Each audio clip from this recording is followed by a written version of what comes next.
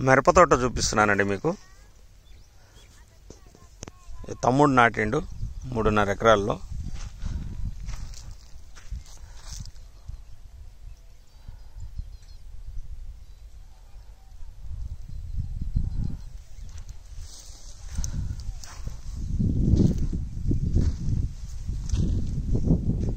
కాయ అయితే పెద్దదే.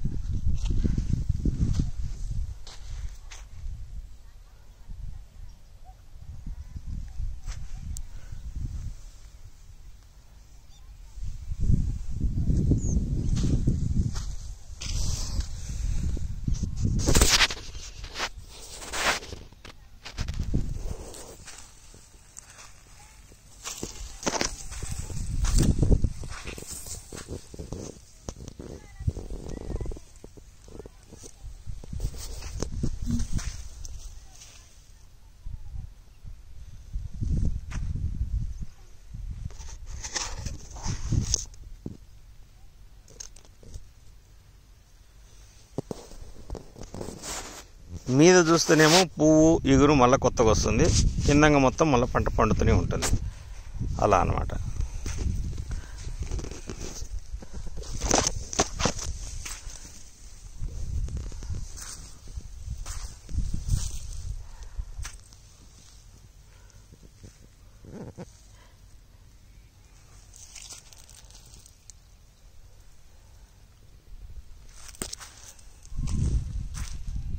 ఇది పాడి మిర్చి అనమాట పాడి. ఇది పాడి ఇత్తనం అంట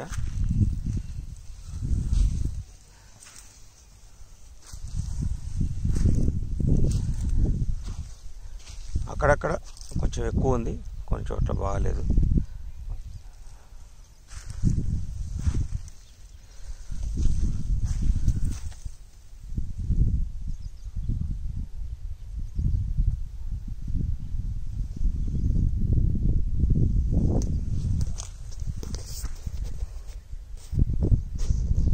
నాకు దీంట్లో పేర్లు ఎక్కువ తెలియదండి కానీ చేను కొంచెం ఇది కొంచెం నాసిరకంగానే ఉందంటే. అంత హైగా కాయలేదు ఈసారి. తక్కువ కొంచెం. పోయినసారి పెట్టిండు బాగున్నది ఈసారి కొంచెం లేటుగా పెట్టాడు.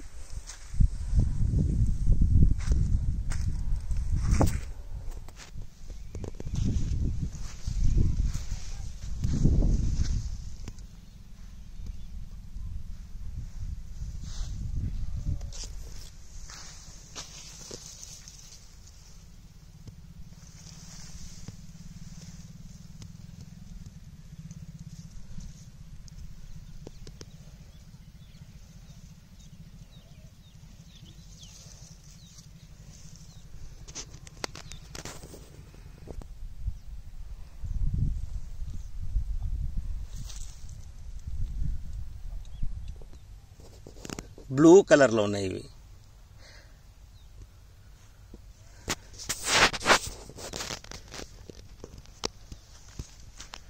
ఇది కూడా ఒకటి అంటాడు. బ్లూ కలర్లో ఇది.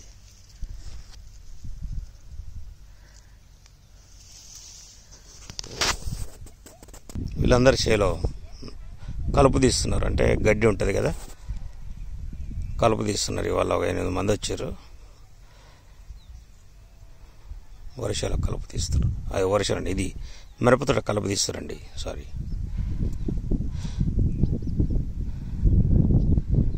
ఇక్కడ వరకు ఒక రకం అండి ఇది. చూస్తున్నారు కదా?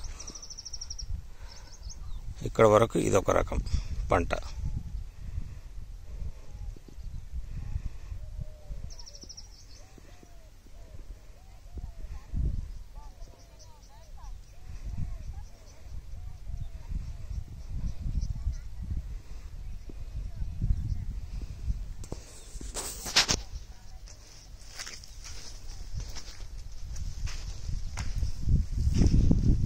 మిరప పంట అంటే దీంట్లో చాలా కష్టాలు ఉంటాయండి ప్రతిరోజు పొద్దున లేచి చంటి పిల్లలు చూసుకున్నట్టే చూసుకోవాలి వీటిని.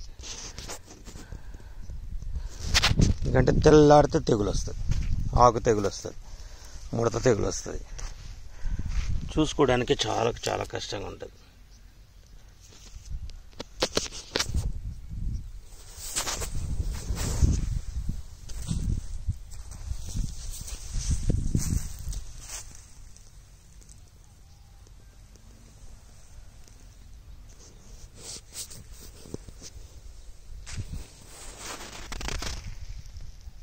చూస్తున్నారు కదా. వెరైటీ వెరైటీగా వస్తాయి. కాయలు అంతా మళ్ళీ బాగా పండయిన తర్వాత మొత్తం మారిపోద్ది. చూస్తారు కదా? ఇది చూడండి. బ్లూ బ్లాక్ అట్లా వస్తుంది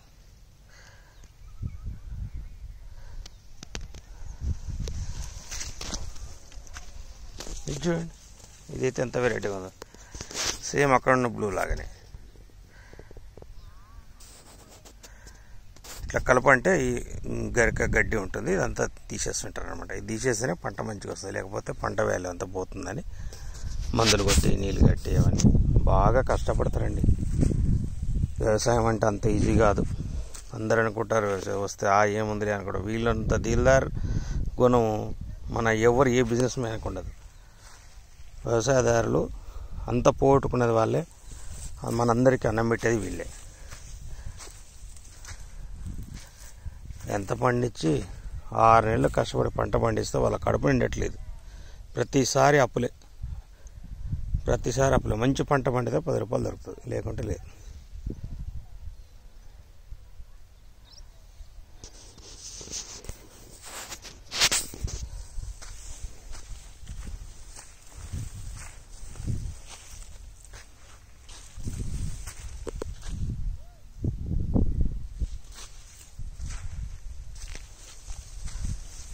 చూసారు కదండి.